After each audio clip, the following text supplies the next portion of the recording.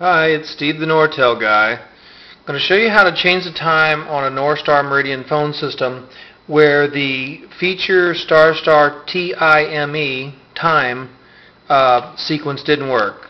So I had another video where I showed you how to change the time by pressing feature star star um, uh, T-I-M-E, which is um, 8463. If you do that and it just sits there and it doesn't do anything, that means that your software is older and that that feature doesn't work.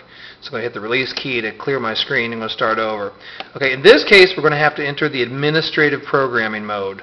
That's done by pressing feature, star, star, 23646. 23646 spells admin, by the way. The password is also admin, or the password is 23646. If that password didn't work, it means that someone has changed it, either the installer or some previous administrator. You need to check books, notes, uh, check with whoever used to manage the phone system before, or maybe who installed it to ask them what the admin password is. Okay, when you get in, uh, you'll probably see um, the screen say uh, 1 system speed dial. Uh, we need to navigate uh, to option number 3, and the way that's done is with these navigation keys right here. This is backwards, forwards, and this is select, and then there'll be another key lit up here in a minute once I navigate some more. Okay, I'm going to go down to uh, number 3 where it says number 3, time and date. I'm going to select that.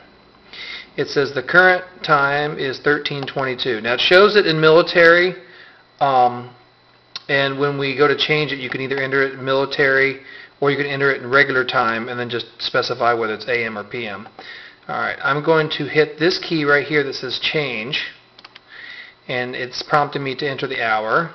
Um, the real hour is um, it's uh, 8 o'clock, so that's going to be 0, 8, I'm sorry, I hit change again, uh, 08, I hit next, and I'm going to change the minutes to 40, and I hit next. When I say next, I'm hitting this key right here with the arrow next to it. That's, that's when we're in the program mode, that means that this key is for next. Okay, is that AM or PM? I'm going to change that to PM. Okay, and I hit next, and then it pops the date back up. I mean, the, and so if the date's wrong, I can either leave it alone and exit the programming, or I can change the date. In this case, I'm actually going to change the date because the date's wrong. So I hit change, and it says the year is 09. Now that's okay, so I'm going to hit next. I don't want to change it. I'm going to hit next. The month is 06, and that's actually okay. So I'm going to leave that. I'm going to hit next. Um, but the day is wrong, so I'm going to hit change. I'm going to put in the correct day, which is the 21st. Hit next.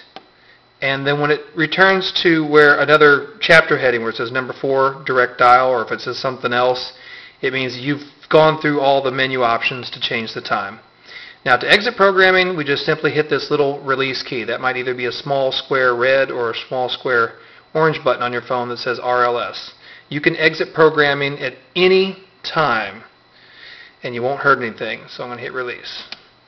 It'll say end of session and then when the date and time appears, and you'll know you did it right if you see the correct date and time on the screen of your phone. If you didn't, just simply go back in and do it again. Thank you.